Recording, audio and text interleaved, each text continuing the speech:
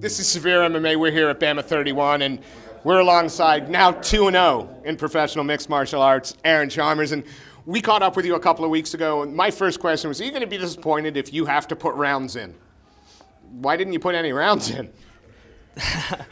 I didn't have to. Um, to be fair, I've always said I'm quite, I'm really confident in my striking, uh, and there is power in the hands. So if I connect, then you're going out, and it just proved it tonight again, we caught up and that you were talking about your, you know, the, the experiences in Thai boxing blah blah blah, and you get the choke, you get the submission in the first fight, and then yeah. up.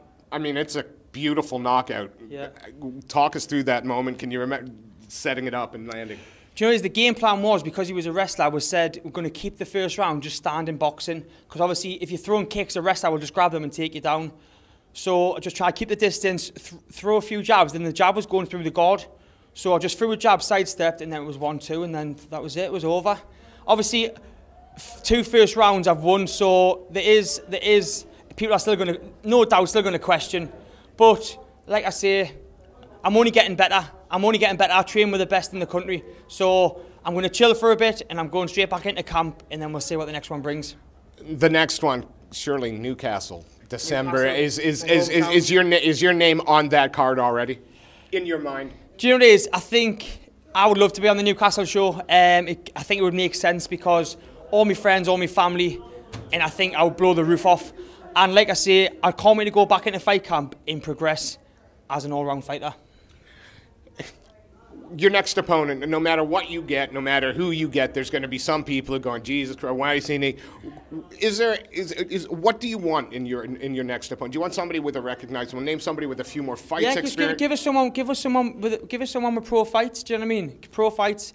I think I've proved now. I've had I've had someone who was a zero zero MMA. No, well, he was a Thai boxer. Then I've had someone that was six six amateur fights. So give us someone with pro with a pro with pro fights. Do you know what I mean? And I'm very confident. And like I say, I am only getting better. I'm not getting worse. And I'm as I'm getting better, I'm getting more confident and cocky when we again, you seem to be enjoying training camp. You seem to be in your element. Everything seemed to be falling into places. Was it about as a perfect setup as you could hope for? Or are you going to keep doing the same things?